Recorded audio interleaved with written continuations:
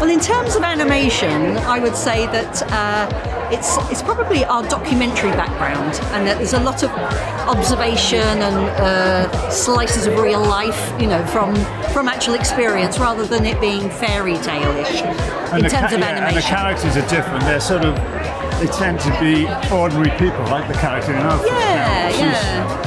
Age 60, she's Yeah. overweight, she works in a factory, but she wants to be an artist. So yeah, maybe that's the, what it's all about. maybe the British celebrate ordinariness more. They, they I think. encourage yeah.